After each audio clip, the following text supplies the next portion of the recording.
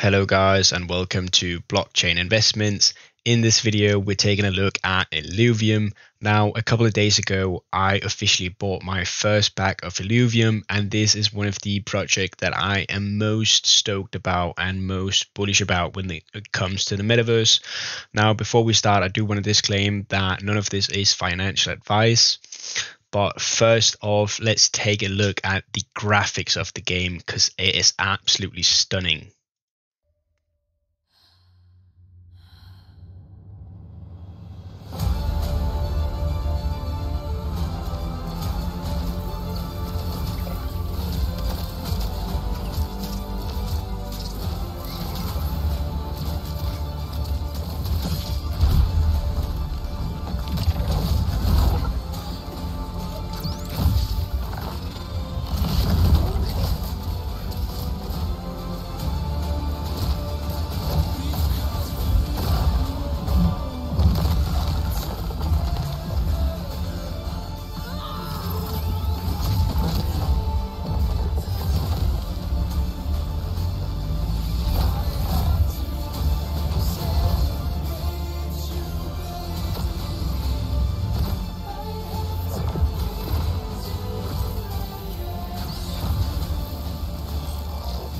Looking at these graphics, you can tell that this is a game that is going to draw in a lot of gamers that are not into this metaverse and into crypto just because of the awesomeness of this game.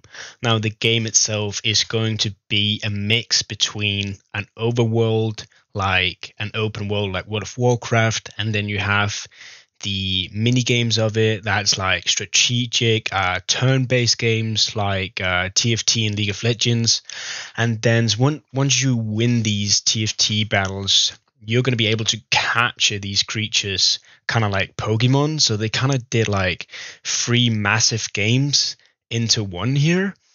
And if we take a look at the tokenomics of illuvium we can actually see that the max supply is 10 million tokens. Now, this is probably one of the best to- uh, best coins out there or tokens out there for tokenomics because the supply of this is better than Bitcoin and it's even better than Quant.